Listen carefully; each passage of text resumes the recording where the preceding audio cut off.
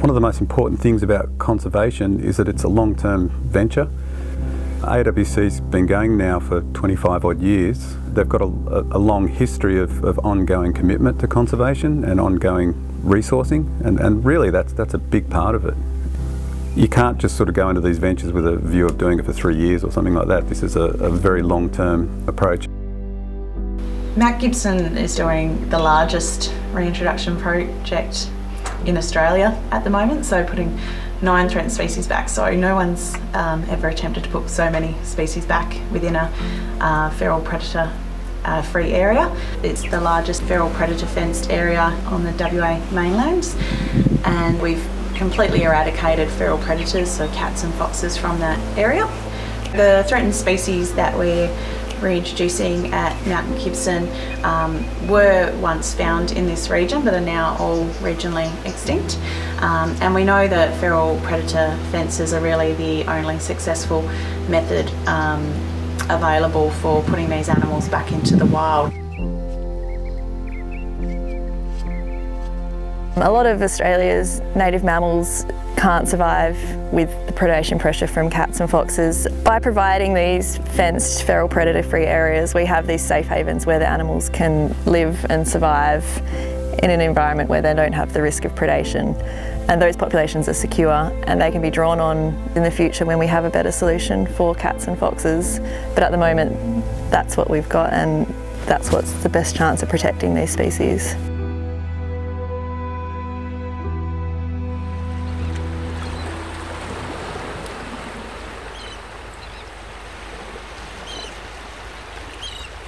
So we're working with the Department of Environment and Water here at St Peter Island, which is off the west coast of the Eyre Peninsula, and we're catching greater stick nest rats to supplement the population at Mount Gibson.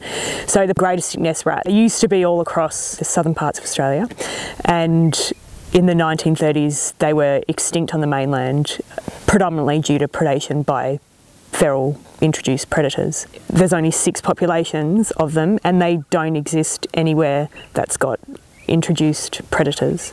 So they only exist behind fences or on islands. Following the extinction of the greatest stick nest rats on the mainland, they discovered that there was a naturally existing stick nest rat population on the Franklin Islands, which is the last remaining natural population of stick nest rats in the world. St Peter's Island was proclaimed a conservation park in 1988.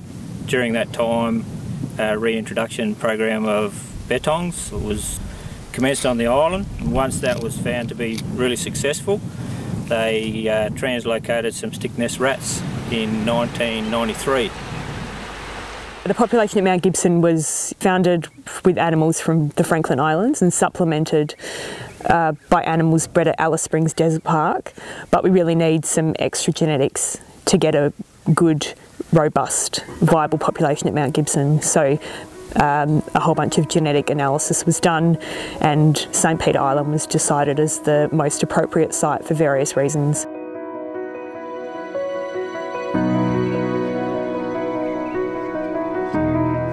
Today we are setting up our trapping grid for our stick nest rats. So we're doing a 10 by 10 grid, so 100 traps today, which is quite a lot to get out.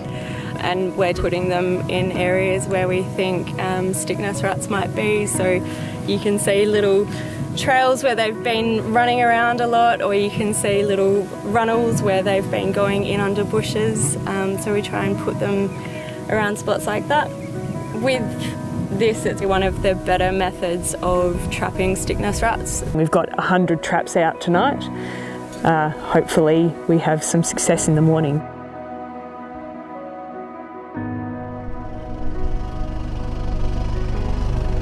To catch these rats we do a combination of Elliott trapping and then also spotlighting from the back of a ute. So we're just looking out using spotlights and then also the thermal imaging scope and looking for a bit of movement that'll tell us there's a rat there. If we see it, we'll just hit on the car roof and um, jump out and surround it and then hopefully be able to catch it with one of our hand nets down there. Oh, just here.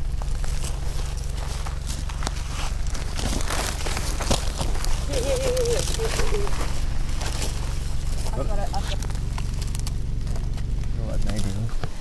So we've just caught our first greater stick nest rat for the trip. Um, and hopefully this one will come back with us to Mount Gibson. It's a male. Yep. So total weight is 410. 7795. So we've just put a microchip in him and that's just a unique number so that when we go back to Mount Gibson and we release him there we can keep track of him if we catch him again. Ooh, awesome. AWC's mission is the protection of all of Australia's fauna and the habitats that they live in. Uh, we do that through acquisition and management of land around Australia. Through that we've been able to protect some of the largest populations of Australia's most threatened species. Feral free areas like at Scotia and Yookamurra hold some of the largest remaining populations of species like numbats and bilbies, bridled nail-tail wallabies. The project we're doing at Mount Gibson is aiming to achieve similar results. Instead of trying to prevent declines, we're actively increasing the species. We're creating new populations, we're increasing the number of species or the number of animals of those species that are left in Australia. It's active conservation and it's, it's not a matter of halting decline, it's proactively increasing and achieving results. It's not preventing things, it's achieving things.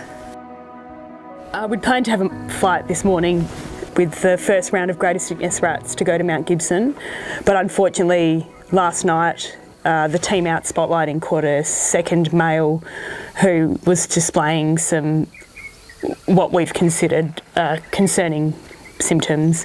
So, given that of seven males we've caught so far, two have displayed issues that we can, would consider them not healthy for translocation, we've decided to seek further advice.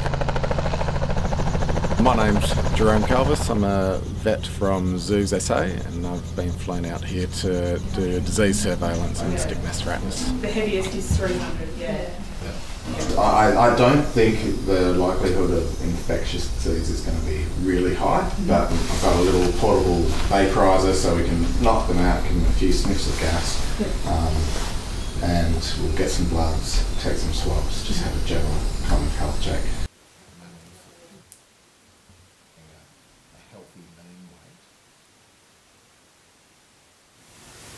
Bit of a bite wound on the kind of lateral right tail. Okay, looking good.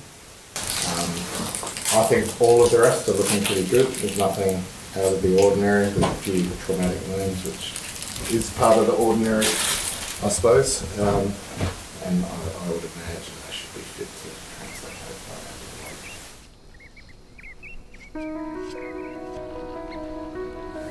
We got a call from the vets this morning, and the good news is the rats have been given the all clear, so we can go ahead with the translocation. So that means the rats we've currently got will be flying out tomorrow to find their new home at Mount Gibson. Because you're moving animals from one habitat to another, there's a lot of time and investment put into this and, actually a lot of money as well. So maximising the, the chances that any translocated animals are, are going to survive and reproduce increases the chances that the translocation is successful.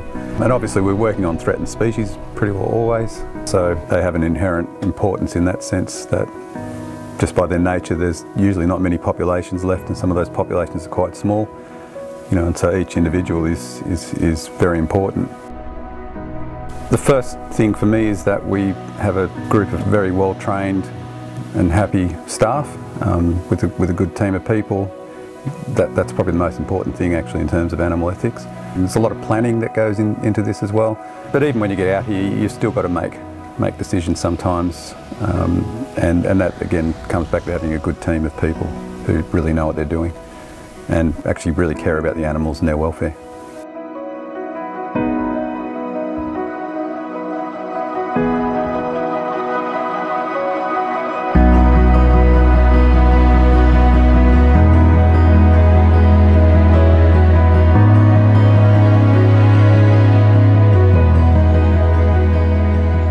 On the morning of the translocation, the St Peter Island team packaged up the animals into little wooden boxes and then they were chopped off the island to Ceduna where they were put into a light plane and flown out to Mount Gibson. We're releasing the greater Stick nest rats into a feral-proof fenced area, so it's, a, it's about 7,800 hectares and it's part of a greater reintroduction program where we've already released eight endangered mammal species. Greater Stick nest rats were the first uh, mammal species reintroduced to Mount Gibson in 2014. So once we've attached the transmitters uh, up in the lab at Mount Gibson, we wait until dusk because greater stick nest rats are a nocturnal animal, and then we drive them out here to release them into pre-selected sites. So these were selected based on their high quality habitat for greater stick nest rats and also within 500 metres to a kilometre of known greater stick nest rat populations so that we could get a good genetic intermingling happening uh, when they're released. So this is an existing stick nest rat house at Mount Gibson. So you can see in here there's a little tunnel where they've kind of converted it and there'll be runways through here. So at least one rat lives in here. We've been monitoring it with cameras. And another obvious sign that this is an active nest is that there's a little dirt runway. So they kind of dig out a little driveway for themselves and then use it as the entrance to the tunnel. And there's also scat around so you can tell that there's been a rat here recently.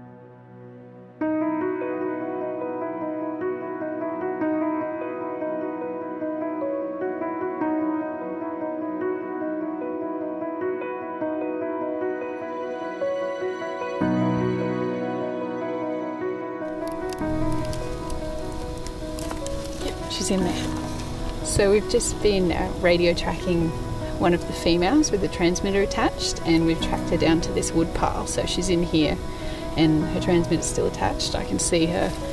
So she's still alive, which is great. And she's found herself a nice day refuge.